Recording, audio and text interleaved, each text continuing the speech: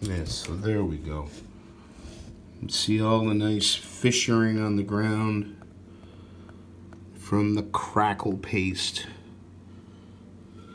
Any more in the in the crater?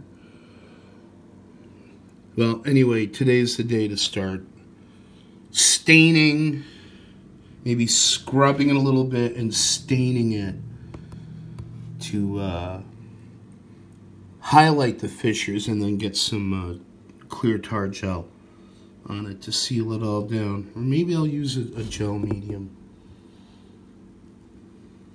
Try to avoid the really glossy surface and keep reworking the, uh, the clay. But that's our update. All right, so what I've done here is to mix up a slurry of micaceous iron oxide, a drop of iridescent copper light, and taking a, a hint from Operation Moonbase, some of this green gold, just like two or three drops of it. Operation Moonbase by Marx Toys had this incredible vacuum formed mountain, and the primary colors used for it was a sort of olive green, and it's just the most wonderful thing in the world. To see in person. What I want to do is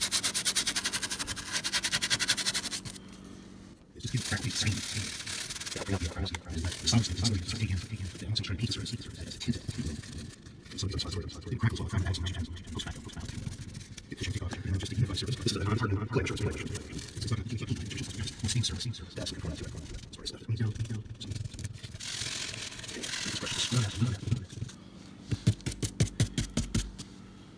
Get some good moon terrainy Operation Moonbase green muck. So, sort of now. Just it fantastic isn't. See how that takes yellow green young. Alright, so that's what I ended up. I did do a little bit of, of, of intentional brushwork. I want the meteors to all have a sparkle, for sure. Uh, and we'll see how much of it peels like right off of the of the clay surface. But it was in an effort mainly to blend the two surfaces together so that it's just not a conscious boundary between them. And smaller. I don't have any smaller pieces up here right now. Here's, here, here are the here, here are these guys after, I guess, 48 hours since treatment. I like that one the best. And I made a big mistake and went and tried to put some detailing around the sides of the helmets. I'm sure the camera is more forgiving than than my sense of right and wrong, but uh, it, they, they look overpainted now uh, in, in the attempt to touch it up. So the, the freshness of some of them is, is getting lost. But I did do one other dude up because uh, these guys all have helmets as part of the casting. So you know what? What's he running around without a faceplate on? How's that going to help? Oh, and then there's others who don't have helmets that would not contain oxygen pressure, but that's that's neither here nor there. You know, safety is safety. But if these guys are going to be in, in out there in outer space, you know, you got to make sure they got a faceplate on. Some of them work better than others. His nose is kind of sticking through. And maybe it should get a, a, a second layer, yeah. Uh, but but the, the, the point is is that I think this is as clear as they're going to dry out to be. So I like that one. I like how it does look kind of foggy. You know, it, it, what do you do when you work uh, work up a sweat in a spacesuit? And and they definitely, uh, for the Apollo EVA suits, they had a way of containing uh, body heat and stuff like that. But this is just a skin tight flight suit. You'd fog up that that faceplate in, in in in a minute if you didn't have the right kind of ventilation calculation. Yeah, I lost my nerve. And went, just went through with a rag and wiped a lot of it off. The main reason to stain it is to, to bring out the fissures, unify the surfaces as we go along. And I'm pleased. It's, after I'm going to let it dry, and then I'm going to go over it with a uh, acrylic gel of some sort. Fix it down. Alright, so what I want to do, this is my uh, Marx Action Commando Series Army Man set. Most interesting part of which is the lid, which is shaped like a readout. Trench. That's cool. That's cool. Um, and I'm going to pull one of these tanks out.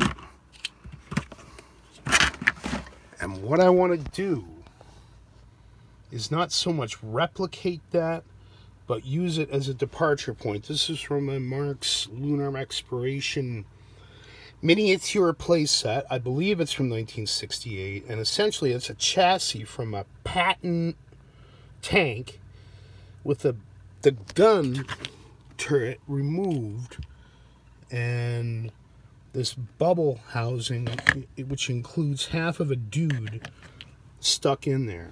And so I'm hoping that I can more or less without damaging it oh well there we go.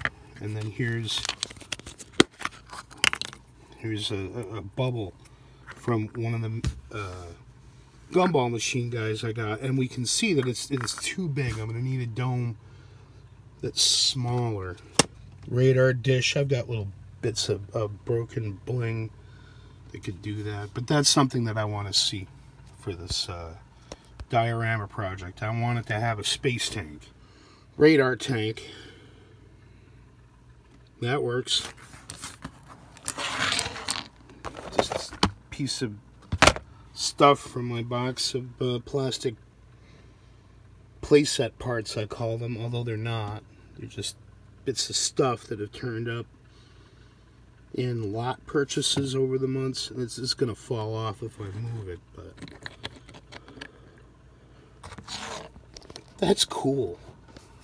Even just like that and then paint it all white.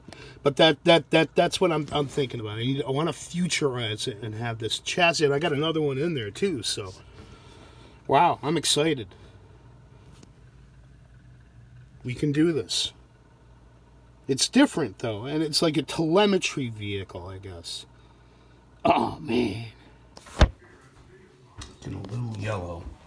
So what I want to do is take some of this interference blue quartz and add some uh, blue highlights to it. You just brush it on.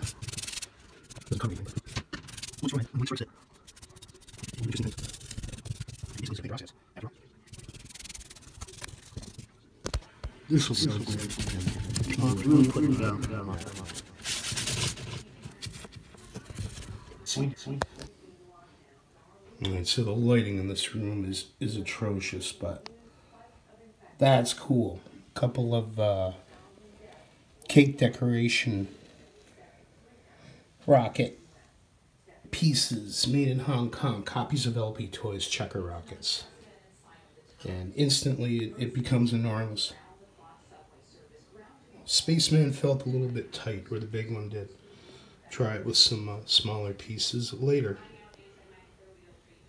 And I'm working on the, the surface. I just went over it with a light interference blue to get sort of a moon glow. It's a little yellow, but I'm going to work on it. I have a vision. Alright, here we are, end of day form. I did go back in with some cobalt blue to just beat down that yellow a little bit. There's our space tank with a medicine cap as sort of a turret skirt. It's a little bit more hardware hardware-ish.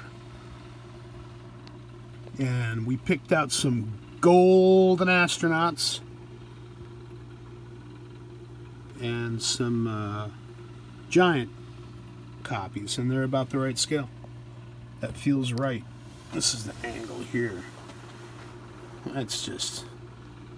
Dude, that's cool. Like, there's your space art right there. Oh yeah, that's dried glass bead gel.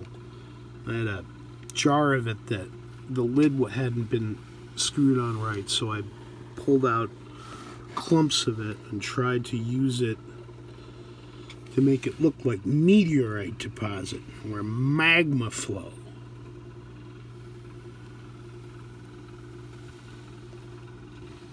Awesome. I want to make another. And and this isn't the final configuration either. I'm just enjoying it. Something I've wanted to see for months. Months.